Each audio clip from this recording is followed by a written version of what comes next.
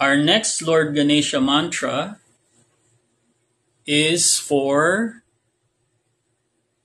for humans to be able to attain living a life that is of the golden age. Now, we, the golden age refers to uh, the heightened age wherein the energies are high in the planet, uh, Satya Yuga, wherein um, the first two to three uh, cycles of the planet Earth are of high energy.